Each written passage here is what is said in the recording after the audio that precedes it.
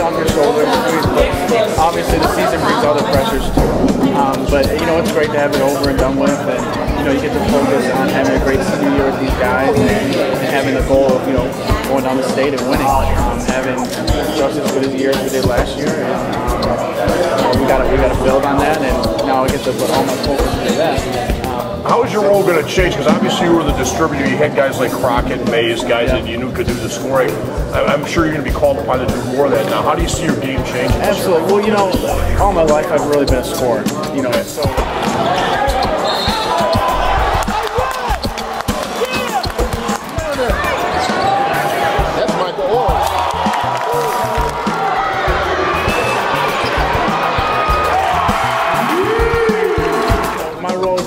Last year, and then next year, you know, it's going to be the same. But I mean, I'm used to scoring. I score all during AAU season, you know, averaging almost 20 points a game every game.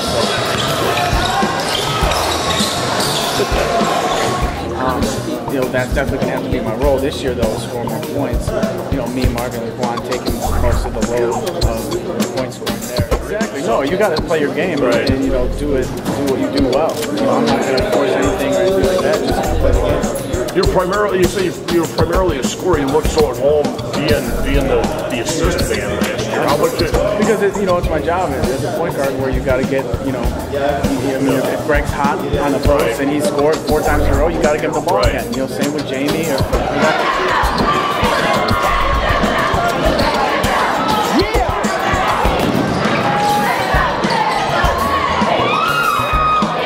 or that kind of stuff. So you know, I score when I need it um, you know, and I'm going to need to score more this year. So.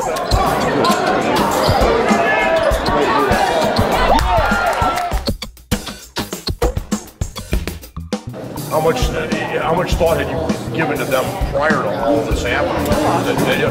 Yeah.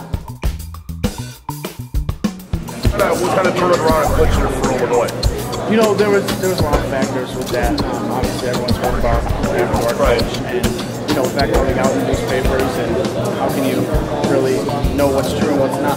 Right. So, you know, I felt like he controlled a lot of my recruiting process. Okay. So um, I needed to do it over, press kind of the restart button, and um, just go through the process again. in Illinois uh, was the one. Because it seemed like a natural fit. You know? It is. It, I mean, it's a, it's a great fit for me. Like I said, uh, first time around, there was uh, things to in the recruiting process. So this time around, you know, it was, uh, it was good. What do you like about it? What drove you there? You know what? There's so many factors. You mean academically, um, athletically, it's a great fit for me. Me, Tracy, you know, part of the roster um, going in there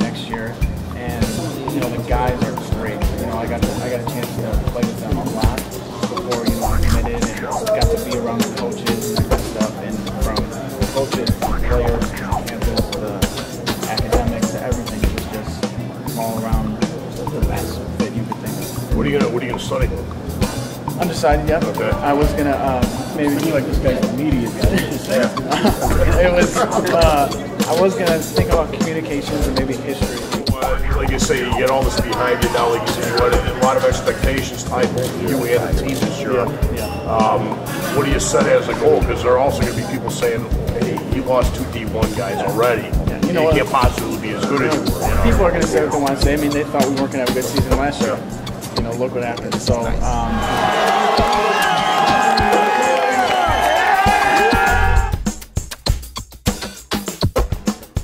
you know, our goal is to stay championship. That's the bottom line. Um, you know, we have a lot of talent here with two sophomores coming back that started most of the year last year. So I don't foresee any problems. We're going to have a bullseye on our back, and we won't want it any other way. Congratulations, Mike. Thanks Thank a lot. You. Look forward to seeing you during the season. Thank All you. right, take care.